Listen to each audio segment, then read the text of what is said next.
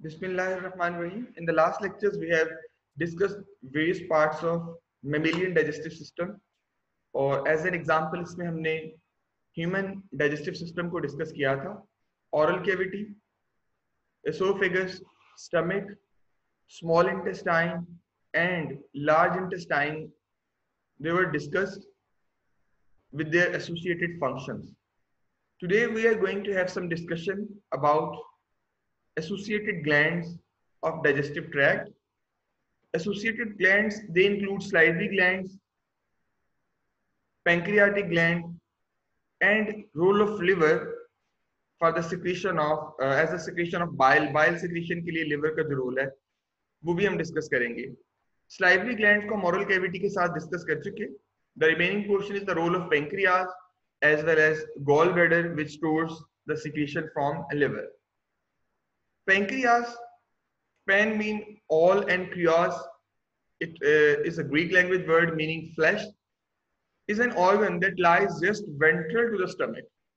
As you can see over here, it's ventral to the stomach. ये stomach की position है और stomach के ventral side पे frontal side पे pancreas ये मौजूद होता है. It lies ventral to the stomach and has both endocrine as well as exocrine functions. Pancreas is known as dual gland. Dual gland, dual gland हम उसे कहते हैं जिसमें एक्सोक्राइन सिक्रीशन यानी डक्ट के अंदर जो सिक्रीशन रिलीज़ होती हैं जो ब्लड के अलावा किसी कैविटी में रिलीज़ होती हैं वो भी रिलीज़ हो रही हो और जिसमें हार्मोन्स हार्मोन्स भी प्रोड्यूस हो रहे हो pancreas is a dual gland it releases hormones as well as it produces pancreatic juice which is rich in digestive enzymes and is its exocrine secretion exocrine portion pancreas का ज्यादा होता है जो pancreatic juice produce करता है जबकि endocrine portion pancreas का smaller है exocrine cells in pancreas they secrete digestive enzymes and into the pancreatic duct as you can see pancreatic duct it receives pancreatic juice from various parts of the pancreas different points पे connected है pancreas के साथ और इसकी ducts उसमें मौजूद होती है expanded होती है Ultimately, pancreatic duct joins the hepatic duct coming from the liver. ये hepatic duct है बेटा जो कि liver से आ रही है and hepatic duct as well as pancreatic duct they form common hepatopancreatic duct which is released which ultimately releases its contents into the small intestine. Small intestine का पहला part ये secretion receive करेगा that is duodenum और pancreas के अंदर multiple enzymes होते हैं for example lipases हैं जो लिपिड्स की डाइजेशन करते हैं इसमें अमाइलेसिस कार्बोहाइड्रेट डाइजेस्टिंग एंजाइम भी हैं अमाइलोप्सिन कहते हैं यहाँ पे अमाइलेस स्लाइवा में भी रिलीज़ हुआ था वहाँ पे हमने उसको नाम दिया था टायलिन जो अमाइलेज एंजाइम यहाँ पे रिलीज़ होगा फ़ंक्शन तो उसका सेम है कि रिमेनिंग जो कार्बोहाइड्रेट हैं, उनको भी डाइसेक्राइड्स में कन्वर्ट करना, लेकिन उसका नाम है सेकेंड नेम अमाइलोप्सिन इसके अलावा बेटा ट्रिप्सिन जो कि इनएक्टिव फॉर्म ट्रिप्सिनोजिन की फॉर्म में आता है, और यहाँ पे आके एक्टिवेट होगा। ट्रिप्सिन को एक्टिवेट करने के लिए डिडिनम का रोल होता है। डिडिनम से एक एंजाइम आता है, जो ट्रिप्सिनोजिन को ट्रिप्सिन में कन्वर्ट करता है। इंटेरोकाइनेज उसका नाम है। वो पेंक्रियाज का नहीं है, वो डिडिनम का एंजाइम है और वो डिडिनम से आने वाले ट्रिप्सिनोजिन को ट्रिप्सिन में कन्वर्ट करेगा। फिर कार्बोक्सी पेप्टिडेजेस हैं, ये भी प्रोटीन डाइजेस्टिंग एंजाइम्स हैं। काइमोट्रिप्सिन है, जो कि काइमोट्रिप्सिनोजिन की फॉर्म में आता है ये जिस एंजाइम के एंड पे जिन आ रहा है ना यूजुअली पेप्सिनोजिन ट्रिप्सिनोजिन काइमोट्रिप्सिनोजिन ये इनएक्टिव एंजाइम्स हैं और इनएक्टिव एंजाइम्स को एक्टिवेट करने के अलग अलग मैकेनिज्म्स होती हैं। काइमोट्रिप्सिन जब बनता है काइमोट्रिप्सिनोजिन से काइमोट्रिप्सिनोजिन से तो काइमोट्रिप्सिन की एक्टिवेशन यानी काइमोट्रिप्सिनोजिन को एक्टिवेट करने के लिए ट्रिप्सिन रोल प्ले कर रहा होगा And these enzymes, they digest proteins into small peptides and even individual amino acids. But individual amino acids, most of them, they are formed in the later parts where duodenal, uh, enzymes, जो second part है small intestine का, वहाँ पे एरिप्सिन enzyme release होता है जो dipeptides को amino acid में कन्वर्ट करता है और अमाइनो पेप्टिडेज रिलीज़ होता है जो कि पोलीपेप्टाइड्स को या पेप्टाइड्स को जिसके पेप्टोन्स वगैरह होते हैं छोटे फ्रेगमेंट्स उनको डाइपेप्टाइड्स में पहले कन्वर्ट करेगा। पेंक्रियाटिक लाइपेसिस वो लिपिड्स को डाइजेस्ट करेंगे और लिपिड्स से डाइजेशन के बाद क्या क्या प्रोड्यूस होगा भी? Glycerol and free fatty acids pancreatic amylases जैसा कि स्लाइवरी ग्लैंड से अमाइलेज आ रहा था it was converting starch and glycogen into maltose starch और ग्लाइकोजन एडिबल पॉलीसेक्राइड्स हैं. यहाँ पर भी अगर वो पॉलीसेक्राइड स्टार्च या ग्लाइकोजन का कोई हिस्सा स्मॉल इंटेस्टाइन तक पहुँचता है तो pancreatic amylase converts polysaccharides into disaccharides and monosaccharides. The pancreas also secretes bicarbonatines that help neutralize the acidic food residue coming from the stomach. bicarbonatines raise the pH from 2 to 7. Stomach के अंदर highly acidic pH थी और crime acidic crime जैसे ही यहाँ duodenum में आती है तो उसको न्यूट्रलाइज करना इसलिए ज़रूरी होता है क्योंकि पेंक्रियाटिक एंजाइम्स और फर्दर जो स्मॉल इंटेस्टाइन के अपने एंजाइम्स हैं they are working in the alkaline pH वो optimum function optimum activity alkaline pH में शो करते हैं। और इस न्यूट्रलाइजेशन अगर ये पीएच न्यूट्रलाइज ना हो बाइकार्बोनेटाइन की वजह से without such neutralisation pancreatic enzymes could not function properly वो अपना प्रॉपर फ़ंक्शन परफॉर्म नहीं कर सकेंगे। Here is a list of major digestive glands, their secretions, and ultimately their digestions in mammals. For example, mouth, it has salivary glands which produce saliva. We have discussed the saliva is produced by three pairs, parotid, then submandibular and submaxillary gland.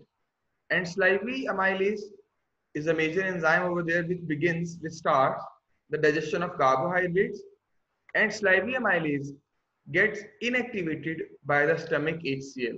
Stomach में जाके वो inactivate हो जाएगा। क्यों? क्योंकि slavia amylase के लिए suitable pH है 6.8. स्टमिक में HCl की वजह से जो पीएच होती है बेटा, वो हाईली एसिडिक होती है दैट इज़ नियर टू फिर mucus glands they produce mucus यहाँ पे पॉइंट नोट करना, आपने जब म्यूकस ग्लैंड लिखे होते हैं their spellings very M U C O U S it refers to the mucus producing glands. But mucus secretions, इसके स्पेलिंग में O नहीं लिखा जाता बेटा सेकंड ये याद रखिएगा। ग्लाइकोप्रोटीन सिक्रीशन ये म्यूकस ग्लैंड्स ये भी हमारे पास एसोफेगस में बक्कल कैविटी के अंदर, इसके अलावा बाकी जो पार्ट्स हैं स्मॉल इंटेस्टाइन के, या लार्ज इंटेस्टाइन के, वहाँ पे भी मौजूद होंगे। म्यूकस ग्लैंड इनका काम होता है म्यूकस प्रोड्यूस करना विच लुब्रिकेट द फ़ूड ये माउथ में भी प्रेजेंट है एसोफेगस में भी, और अपकमिंग जो पार्ट्स हम डिस्कस करने जा रहे हैं, वहाँ पर भी ये नज़र आएँगे। Stomach it has certain gastric glands which produce gastric juice as well as H C is responsible for the maintenance of acidic P H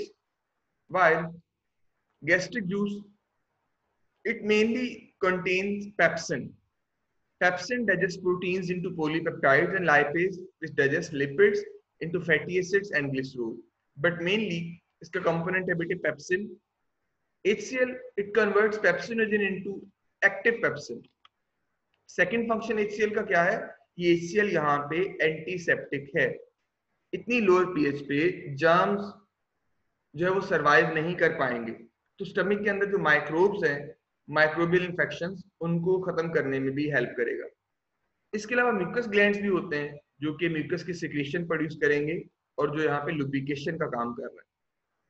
small intestine के साथ एसोसिएटेड ग्लैंड्स कौन कौन से हैं लिवर एंड पेंक्रियाज लिवर हमें पता है it produces bile और बाइल का काम क्या होता है? कि लार्जर फैट ड्रॉपलेट्स को फैट ग्लोब्यूल्स को स्मॉलर फैट ड्रॉपलेट्स में कन्वर्ट करना, ताकि उनके ऊपर लाइपेजेस या लिपिड डाइजेस्टिंग एंजाइम्स का एक्शन इजीली हो सके और सरफेस एरिया ज़्यादा अवेलेबल हो। पेंक्रियास से जो पेंक्रियाटिक जूस आता है बेटा, वो तो मल्टीपल अच्छा बाइल का एक फ़ंक्शन और भी यहाँ पे लिखा हुआ इट ऑल्सो एक्टिवेट्स लाइपेज और लिपिड्स को इमल्सिफाई भी करेगी, यानी लिपिड्स को स्मॉलर ड्रॉपलेट्स में भी कन्वर्ट करेगी।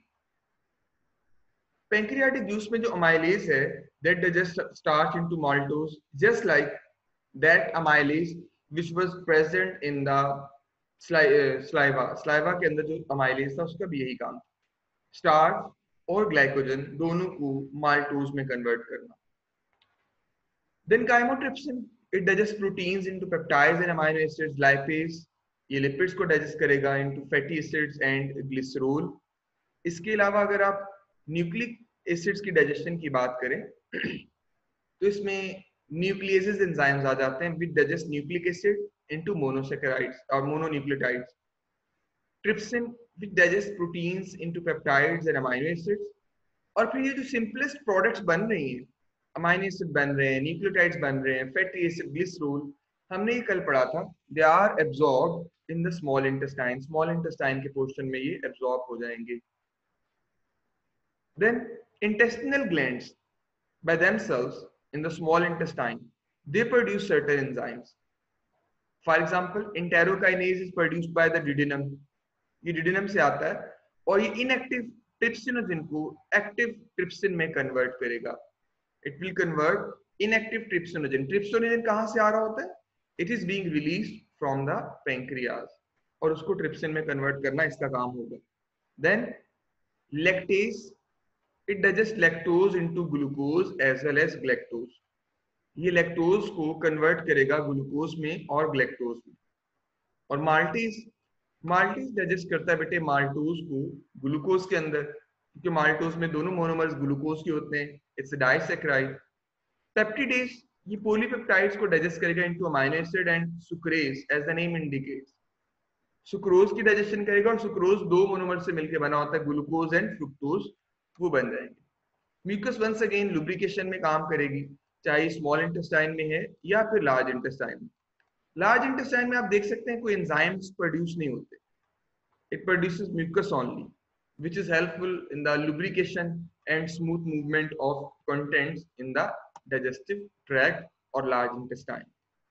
तो ये बेटा एक समरी भी है जो डिफरेंट पार्ट्स हैं, उनके फ़ंक्शंस की और जो एसोसिएटेड एंजाइम्स मौजूद है, उनके हवाले से भी एक डिस्कशन है। अगर हम गॉल ब्लैडर और लिवर की बात करें डाइजेशन में इनका क्या रोल है? तो मेनली लिपिड डाइजेशन में असिस्ट करना लिवर का रोल होता है। Liver produces no enzymes for digestion अपने एंजाइम्स के बहुत से होंगे, लेकिन ये डाइजेशन के लिए कोई एंजाइम्स प्रोड्यूस नहीं करता। It is the largest organ in the mammalian body is just under the diaphragm diaphragm के लोअर साइड पे पड़ा होता है। यहाँ पे डायफ्राम कवर कर रही होती है लंग्स के ऊपर साइड पे और लोअर साइड पे लिवर मौजूद होता है। There are millions of specialized cells called hepatocytes that take up nutrients absorbed from the intestine दरअसल इंटेस्टाइन से जो भी ब्लड एब्जॉर्ब होके आता है सबसे पहले लिवर के पास पहुंचेगा हेपेटिक पोर्टल वेन से और लिवर उसको फिर आगे डिटॉक्सिफाई करके या उसमें से फ़ूड एब्जॉर्ब करने के बाद उसको पहुंचाएगा वेना केवा के थ्रू ब्लड सर्कुलेशन में जो डिफरेंट सेल्स तक जाएगा बाद में hepatocytes they also manufacture they also synthesize the blood protein prothrombin as well as albumin ये भी synthesize करते हैं इसके साथ साथ in addition some major metabolic functions of the liver include multiple functions है liver के liver is considered as central metabolic station digestion में तो इसका सिर्फ़ lipid digestion से related function है लेकिन इसके अलावा बहुत से फ़ंक्शंस लिवर परफॉर्म कर रहा होता है for example removal of amino acids from organic compounds then urea formation from proteins and conversion of excess amino acids into urea to decrease body levels of ammonia आपने पढ़ा हुआ है कि ammonia की कन्वर्जन जो की जाती है यूरिया के अंदर through urea cycle detoxification of ammonia that is also carried out by the liver ये भी liver में होती है it also manufactures some of the plasma proteins plasma protein जैसे albumin है thrombin है, fibrinogen है, या albumin, fibrinogen, globulins, mainly ये तीन। ये liver के अंदर synthesize हो रही होंगी। And fetal erythrocytes fetal stages पे हमारे blood cells red blood cells liver और सप्लीन में बनते हैं। जबकि अडल्ट स्टेज पे लिवर और सप्लीन रेड ब्लड सेल्स की जो ब्रेकडाउन होती है डाइजेशन उसमें असिस्ट कर रहे होंगे। Then destruction of old worn out erythrocytes synthesis of blood clotting agents prothrombin and fibrinogen from amino acids synthesis of non-essential amino acid essential वो है जो हमें फ़ूड में चाहिए नॉन एसेंशियल अमाइनो एसिड की सिंथेसिस में भी लिवर का एक सिग्निफिकेंट रोल है इसके अलावा बेटा ये ग्लैक्टोज और फ्रुक्टोज को भी ग्लूकोज में कन्वर्ट कर सकता है क्योंकि हमारे ज़्यादातर सेल्स ग्लैक्टोज को या फ्रुक्टोज को डायरेक्ट एज एनर्जी सोर्स इस्तेमाल नहीं कर सकते तो इसलिए उनकी कन्वर्जन रिक्वायर्ड होती है। That conversion also occurs within the liver इसके साथ साथ देखिए फैटी एसिड्स की ऑक्सीडेशन ताकि उनसे फर्दर जो है वो एनर्जी ली जा सके by formation of acetyl coenzyme A and their entry into the Krebs cycle of the cells. Lipoproteins, जो लिपिड एब्जॉर्प्शन में लैक्टियल के अंदर बड़ा इंपॉर्टेंट रोल प्ले करती हैं काइलोमैक्रोन्स वगैरह। उनकी एब्जॉर्प्शन में। कोलेस्ट्रोल उसकी formation cholesterol is important part of cell membrane phospholipids जो भी फास्फोलिपिड भी जो सेल मेम्ब्रेन का बड़ा एसेंशियल पार्ट्स हैं अबंडेंट पोर्शन है फास्फोलिपिड भी। Conversion of carbohydrates and proteins into the fat as well and modification of waste products that is toxic drugs poison they are also detoxified by the liver cells ये भी जो है liver detoxify कर रहा होगा इसके अलावा लिवर के जो फर्दर फ़ंक्शन है synthesis of vitamin A from carotenes carotenes ये टर्पिनॉइड हैं स्टीरॉइड्स से मिलते जुलते स्ट्रक्चर लिपिड्स की फॉर्म वाइटामिन ए की synthesis and with kidneys participation in the activation of vitamin D vitamin D की एक्टिवेशन में भी हेल्प करता है। Which is required for the calcium absorption maintenance of stable body temperature by raising the temperature of blood passing through it blood का temperature maintain करने में भी liver का role होगा it's mean many metabolic activities make the liver the major heat producer as well animals के अंदर ये major heat producer भी है क्योंकि इसमें मेटाबॉलिक एक्टिविटीज बहुत ज्यादा चल रही होती है मेटा साथ साथ it also manufacture synthesizes bile salts which are used in the small intestine for the emulsification and absorption of simple fats, cholesterol, phospholipids and lipoproteins. हमने emulsification अभी डिस्कस किया कि लार्जर फैट ग्लोब्यूल्स को smaller fat droplets में convert करना many story uh, main storage center and many of the substances they are stored here it also stores glucose आपको पता है ग्लूकोज ग्लाइकोजन की फॉर्म में यहाँ पे स्टोर होती है and with the help of insulin and enzymes it converts glycogen back into the glucose when required और जब ग्लूकोज एक्सेस हो उसको ग्लाइकोजन में कन्वर्ट करता है ग्लूकागोन और सर्टेन एंजाइम्स की हेल्प से और इंसुलिन उसकी एंटागोनिस्टिक आपने पढ़ा हुआ काम करेगा liver also stores fat soluble vitamins such as vitamin A, D, E, and K, and minerals as well, such as iron storage. Iron from the diet. The liver can also store fats and amino acids and converts them into usable glucose as required. Liver adult stage पे blood नहीं बना रहा होता। वो जो आप सुनते हैं ना कि आपका जिगर खून नहीं बना रहा, बिल्कुल सही सुनते हैं। जिगर कभी भी खून नहीं बना रहा होता, लिवर कभी भी खून नहीं बना रहा होता। लिवर दरअसल ब्लड से रिलेटेड कुछ प्रोटीन्स ऐड करता है जो प्लाज्मा में है। या फिर हीमोग्लोबिन प्रोटीन जो बॉडी सेल सिंथेसाइज कर सकते हैं, उनको एक्टिवेट करने के लिए आयरन एटम ऐड करता है। तो आयरन की स्टोरेज लिवर में हुई होती है। Liver is also involve in the activation of haemoglobin by adding iron इसके अलावा गॉल ब्लैडर की बात आती है कि गॉल ब्लैडर ये क्या कर रहा होता है? Gall bladder as you can see over here it's an associated structure with the liver liver से जो हिपैटिक डक्ट्स आती हैं, ये पहले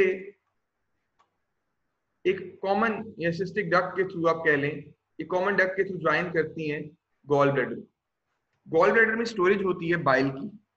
और फिर बाइल जब भी रिलीज़ होनी होती है आफ्टर स्टेबलेशन वो गॉल बैडर से स्टेप बाय स्टेप रिलीज़ होके स्मॉल इंटेस्टाइन में आती है for its further functioning for example ये हमने पढ़ लिया कि गॉल बैडर जो लिवर के रोल है वो क्या क्या है? Bladder it is greenish yellow in colour and is a small organ which is situated situated near the liver The gallbladder stores the greenish fluid called bile, and the liver cells, they are producing that bile.